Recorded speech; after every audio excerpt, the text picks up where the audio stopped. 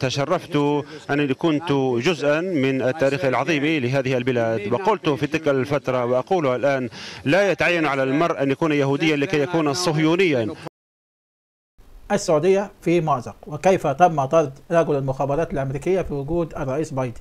وأخبار ما حدث وما صرح به الرئيس بايدن ضد السعودية وما صرح به الرئيس آه، بوتين آه، هنشوف فيديو عن أخبار حرب أوكرانيا وجولة الرئيس بايدن. وفي البداية نبدأ. السلام عليكم وتحياتي لكم. يلا نبدأ على بركة الله. كيف طرد رجل المخابرات الأمريكية في وجود الرئيس الأمريكي بايدن؟ وكيف هدد بايدن السعودية قبل زيارتها وأخبار حرب أوكرانيا وروسيا؟ السعودية في مأزق حقيقي. آه، الرئيس بايدن قبل ما يسافر إلى السعودية قال لك أنا ما نسيتش ملف خاشقجي وإن أنا واخد الملف في إيدي وإن مواضيع حقوق الإنسان لا يمكن أن تنسى وعايز يقول لهم أنا ماسك العصا والجزرة. هتعملوا اللي أنا عايزه. أهلا وسهلا. مش هتعملوا هنطلع الموضوع من من الملف ده ونشتغل عليه. ده فيما معناه يعني ده تحليل ما قالش كده. ولكن إيه إيه يعني ليه جابوا سيرة خاشقجي قبل آه يعني قبل وصوله إلى السعودية؟ وأنتوا عارفين إن هو أيام خاشقجي قال سأجعل السعودية دولة منبوذة ولا يتعامل معها أحد ويعني هدد كثيرا جدا وكان يعني مش رافض لقاء الأمير محمد بن سلمان ودلوقتي هيقابله ويقول لك عشان أشوف موضوع خاشقجي إيه ده؟ انت بتتكلم في إيه؟ انت رايح تزوره ولا رايح تهدد ولا إيه بالظبط؟ مش عارف. ده موضوع بالنسبة للسعودية بقول لكم السعودية في مازق. طيب روسيا قالت إيه بالنسبة للسعودية؟ روسيا تقول نأمل ألا تتخذ الرياض أي موقف ضد روسيا. نأمل ألا تتخذ الرياض أي موقف ضد روسيا. يعني إيه الكلام ده؟ يعني آه، آه، الرئيس بايدن رايح علشان يزود إنتاج آه، النفط من السعودية ويعني بدل ما السعودية ملتزمة بمعايير أوبك يبدأ تلتزم بمعايير اللي يطلبها منها الغرب وكده. فهنا لو هو يعني السعودية توافقت مع مطالب الغرب يسبب ضررا لروسيا. طيب المشكلة بقى إيه؟ المشكلة إن آه، روسيا بدأت التقارب مع إيران وإيران متقاربة مع الحوثيين. فهنا إذا حدث أن السعودية أضرت بمصالح آه، أنتوا عارفين روسيا قد يكون مشاكل في هذه المنطقة بين الحوثيين وبين السعودية وبين إيران. وكمان صرح الرئيس بايدن وقال لك سنستخدم القوة ضد إيران في آخر المطاف. يعني إيه؟ يعني في ناس بتفسر الكلام ده عايز يكون ناتو خليجي جيش خليجي يضم جميع الدول العربية المشاركة في الاجتماع مجلس دول الخليج ومصر وكده ده كلام يعني إحنا مش عارفين ده هيتم أو مش هيتم ده كلام. الناس بتفسر تحليل بهذا الموضوع وإن هيكون الناتو ده ضد إيران وهو قال لك إحنا هنستخدم القوة ضد إيران في نهاية المطاف إذا لم تنصاع يعني آه، لتعليماتنا. طبعا هنشوف إيه اللي هيحصل في الاجتماع وقبل ما نتكلم في الاجتماع نعرف إيه اللي هيحصل. أتوقف عند جملة خطيرة. قالها الرئيس الأمريكي جو بايدن آه، زي ما شفنا في البداية وقال لك أنا جزء من تاريخ هذا الشعب. وقال أيضا إن ليس من الضروري أن تكون يهوديا لكي تكون صهيونيا. معناه إيه الكلام ده؟ معناه كلام خطير جدا جدا. ما الفرق بين اليهودي والصهيوني؟ في السياسة هناك فرق كبير. بين اليهودي والصهيوني.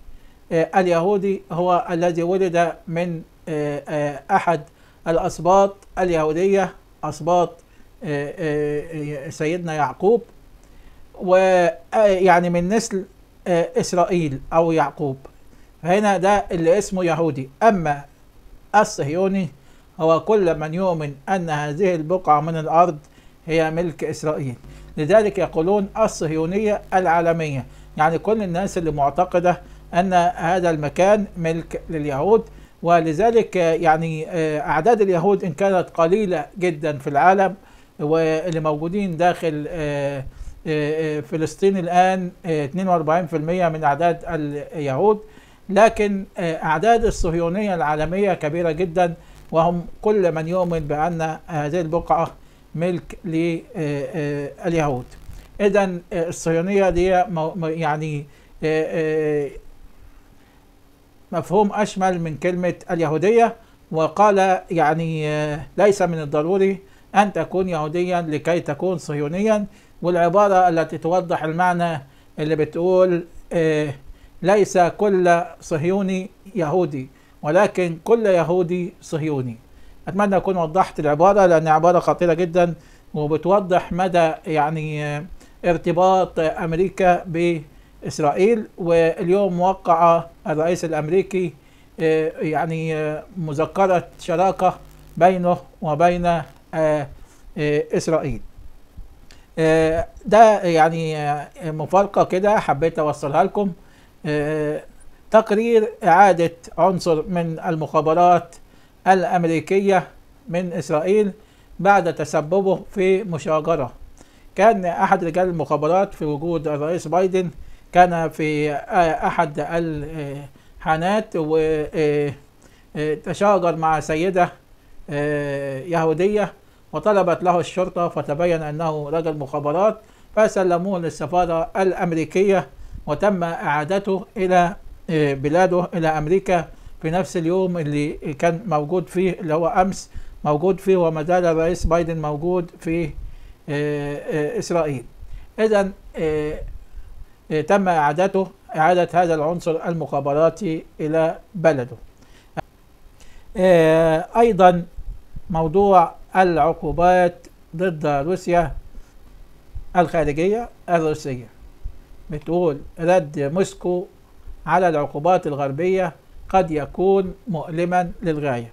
أكد مدير إدارة التعاون الاقتصادي بوزارة الخارجية ديمتري بيشيفسكي أن رد موسكو على العقوبات الغربية قد يكون مؤلما للغاية حيث يجب على الدول الأوروبية أن تفهم أنها تستنفذ اقتصاديتها بنفسها من خلال العقوبات التي فرضتها ضد موسكو. وقال بريشفكسي في مقابلة مع مع وكالة وكالة من الواضح أن الدول الغربية تستنفذ بالفعل اقتصادها.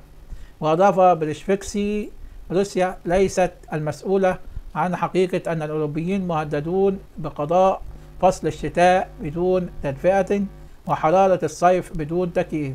والعقوبات يعني آه، إحنا مش مسؤولين على إنكم أنتوا آه، تقضوا الشتاء في البرد أو الصيف بدون تكييف. وقال لهم إن العقوبات أنتوا اللي فرضتوها مش إحنا اللي فرضناها. طيب المجر تحث الاتحاد الأوروبي على إيقاف فرض عقوبات على روسيا. قال المستشار السياسي لرئيس الوزراء المجري بلاج لرو- لرويترز أن الاتحاد الأوروبي يجب أن يتخلى عن فرض عقوبات جديدة ضد روسيا ويبدأ محادثات وقف إطلاق النار بدلا من ذلك. أوروبا والاتحاد الأوروبي قال لهم العقوبات دي زي إيه؟ سلاح ضدنا وليست معنا. طيب رئيس صربيا يعلق ويقول الجحيم ينتظر الجميع. الوضع في حال عدم قبول الغرب بشروط بوتين. صرح رئيس صربيا ألكسندر فوتشيتش أن الجحيم ينتظر العالم إذ لم يستجب رؤساء العالم لاقتراحات الرئيس الروسي فلاديمير بوتين بشأن أوكرانيا. وقال أعرف ما ينتظرنا بمجرد أن ينتهي فلاديمير بوتين من عمله إيه، قال لك هياخدها بلد ورا بلد. ده معنى كلامه. قال لك الجحيم ينتظر الجميع. كوريا الشمالية تعلن اعترافها باستقلال جمهوريتي دونتسك ولوغانسك الشعبيتين. أعلنت سفارة كوريا الشمالية في روسيا لوكالة سيبوتينيك أن جمهورية كوريا الديمقراطية الشعبية اعترفت باستقلال جمهوريتي دونتسك ولوغانسك الشعبيتين. والتقت سفيرة جمهورية دونتسك الشعبية لدى روسيا أوليغا ميكافيكا مع سفير جمهورية كوريا الديمقراطية الشعبية لدى روسيا آه، شين هونج تشول. وقدم شين هونج تشول لميكافيكا وثيقة حول قرار حكومة جمهورية كوريا الديمقراطية الشعبية للاعتراف باستقلال جمهورية دونتسك الشعبية. وعبرت ميكافيكا عن ثقتها في التعاون بين الدولتين والذي أصبح رسميا منذ اليوم وسيكون مثمرا. من جانب آخر آه، أوكرانيا قطعت علاقتها مع كوريا الشمالية وأيضا اعترفت آه، سوريا أيضا بدولة لوغانسك ودوناتسك وأقامت معها علاقات. أخيرا آه، شخص أحد المتابعين اسمه عبد الحميد أبو إسماعيل كتب لي أستحلفك بالله ودي أمانة بلغ سلامي وتحياتي للحاكم بوتين على الهواء. قلت له أنا حاضر هقول يعني هقول اسمك قريبا وأقول إنك بتبلغ التحيات. يبقى إيه التحيات للرئيس بوتين من عبد الحميد أبو إسماعيل. تحياتي آه أنا أيضا آه للرئيس بوتين وكل الزعماء المحترمين. طيب عايز أقول حاجة تاني. ما هو شاي الخمسين؟ سألني أحد المستمعين ما هو شاي الخمسين في مصر؟ لما بيبقى قاعد شخص على القهوة في مصر ويقول للجرسون شوية شاي في الخمسين أو بيعمل له كده شوية شاي في الخمسين ده معناه إيه؟ معناه إن كوباية يعني نصف كوب الشاي يتحط عليه كمية الشاي أكثر ويصبح الشاي تقيل جدا ولونه أسود ويقلل كمان السكر يبقى شاي تقيل جدا. هو ده شاي الخمسينة اللي يظبط الدماغ في مصر. هو ده كلمة شوية شاي في الخمسينة. في العراق يقولوا عليها استكانة استكانة شاي استكانة كده لكن الكوباية الكبيرة يقولوا عليها جلاس والمعلقة بيقولوا عليها خشوجة. يعني بتفكرونا بحاجات جميلة جدا وتحيا العراق وتحيا الجزائر وتحيا المغرب وتحيا تونس واليمن والسعودية والإمارات ومصر. كل الدول العربية بالاسم عشان ما ننساش حد يعني.